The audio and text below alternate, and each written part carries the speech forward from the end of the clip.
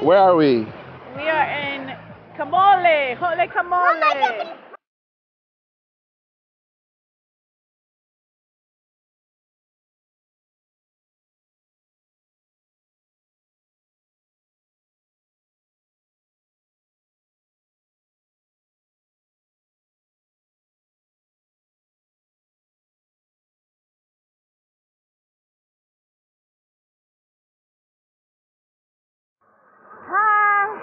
At the beach in Camogli. Uh, this was on a blog that we saw for the top five clearest beaches outside of Genova.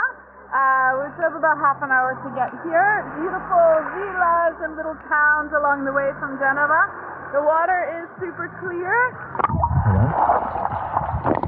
Arlie and I went snorkeling. We found a couple of different kinds of fish. There's some coral around here. And in a little bit, we're going to go get some fried fish and calamari.